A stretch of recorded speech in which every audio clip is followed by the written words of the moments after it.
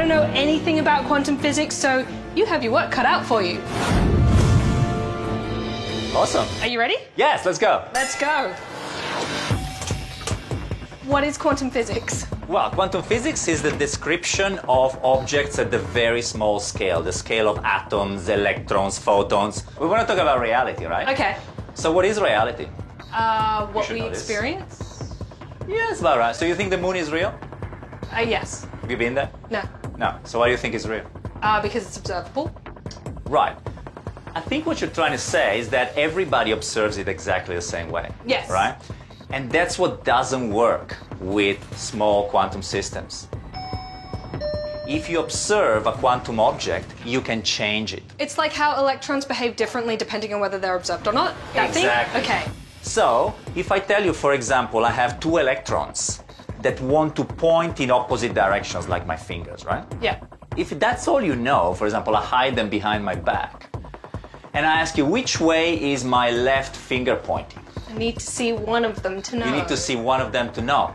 But the thing is, you can try this experiment many times. You will always find them in opposite direction, no matter how far apart they are.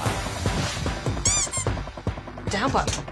If I had oh, hands that are, you know, a light year long, this would work exactly the same way.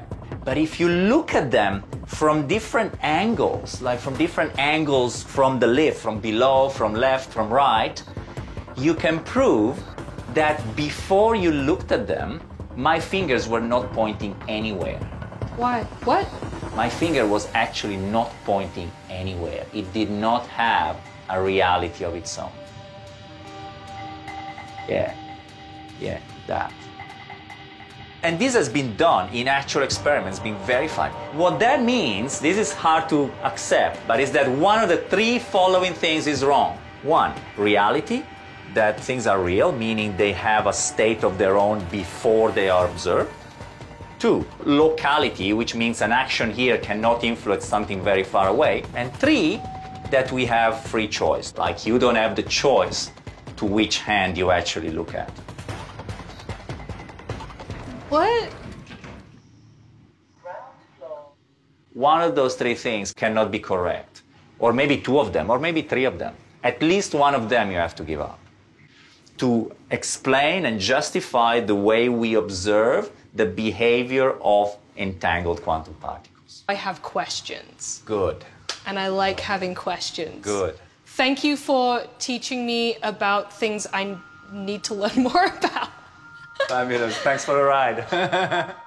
So I know I definitely didn't understand everything, but here's what I think I did understand. So we're talking about quantum physics or quantum mechanics, which in this case is the study of very, very small particles and how they behave in relation to each other.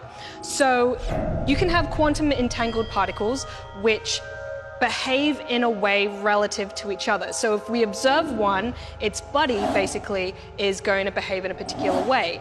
And depending on how we observe them, they're going to behave in different ways. But in order for what we are able to observe to be true, one of three things cannot be true, which is either how we view uh, reality, locality, or free will.